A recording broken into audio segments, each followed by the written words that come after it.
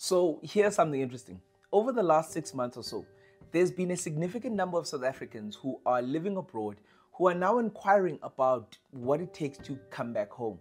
Now, this isn't an episode of Khumbul'Ekhaya, but actual observations from Tax Consulting South Africa, who have noted that expatriates are coming back to South Africa despite the many challenges that we are faced with.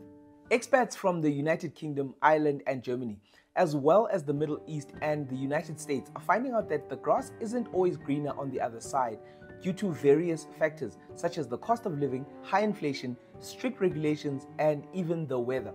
Some of the push factors cited by many expats for leaving the countries that they went to are that there are things like steady increases in the cost of living, especially in the EU nations, high inflation, unpleasant weather, strict regulations that affect all aspects of daily life, and cultural differences. Some expats have reached their mandatory retirement ages in the Middle Eastern countries, which actually prevent them from renewing their residency permits. According to data collected by CNBC Africa, over 350,000 high skilled South Africans have returned home since 2008. According to the UN report, by the end of 2020, 900,000 South Africans were living in other countries and territories, up from 780,000 in 2015.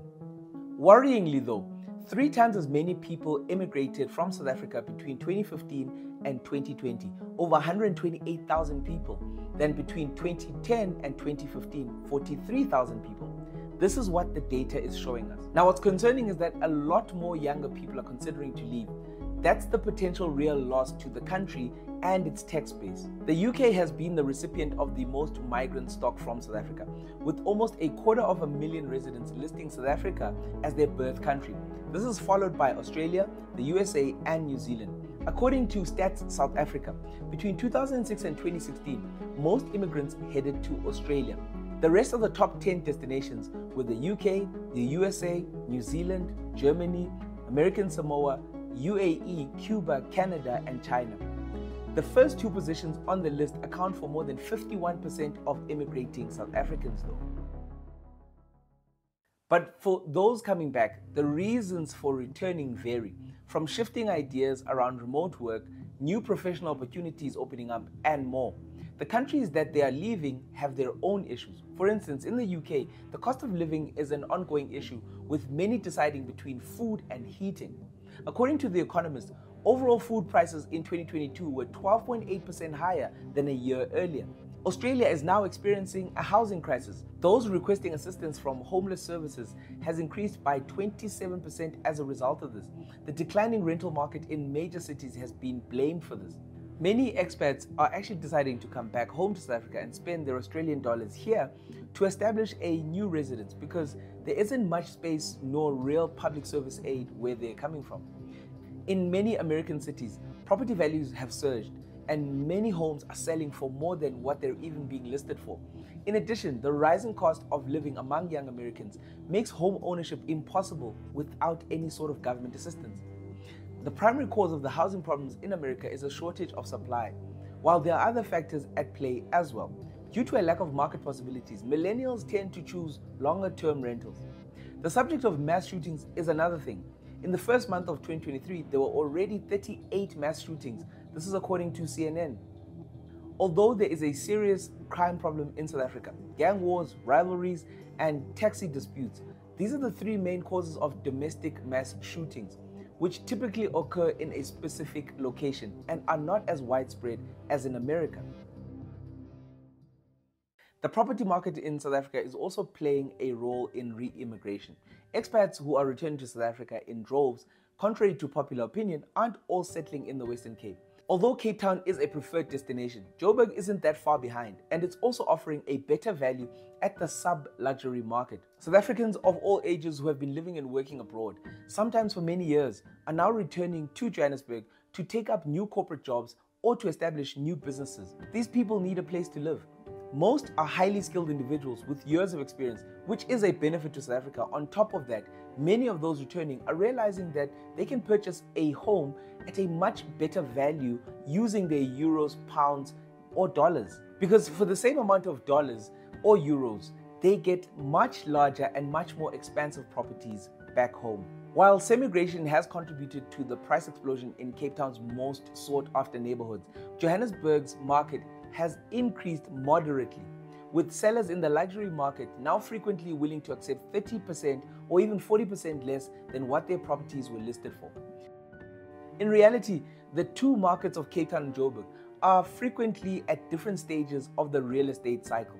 Returning foreign investors, however, are making a big push into the 5 to 10 million rand sub luxury real estate market as they discover how much property they can actually afford in Johannesburg versus Cape Town. A recent study by retirement income specialist MGM Advantage showed for six months that more than 6 million UK adults are actively planning to retire abroad. In addition, more than 5 million US adults have already retired to countries where their dollar goes further and that number continues to rise every single year.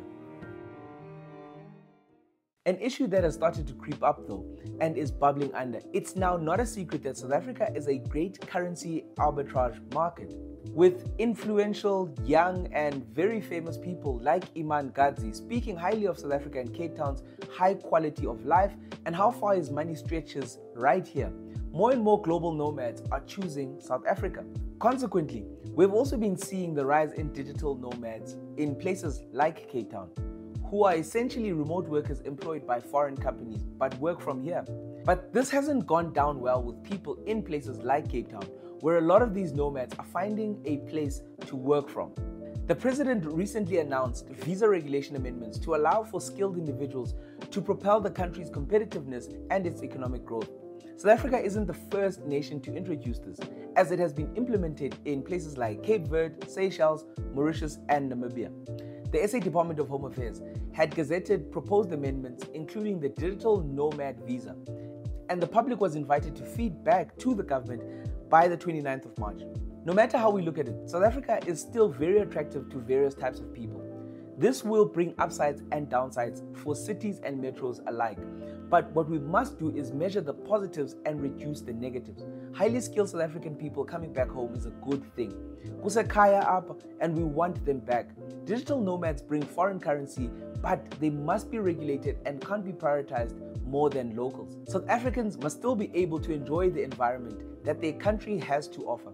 That's why I've always personally wondered why we don't have a South African specific rate for touring, exploring, and holidaying in our own country, like what other places do. South Africa, for all its challenges, still offers opportunities for both personal and professional growth due to its strategic location and still being seen as the true gateway to Africa. We also have an advanced finance and banking sector. Our country is a relatively cost effective and attractive destination for entrepreneurial ventures and foreign investors looking to capitalize on the continent's potential. What are your thoughts on all of this? If you're South African living abroad or you're also thinking of coming back home, let's chat about it in the comments.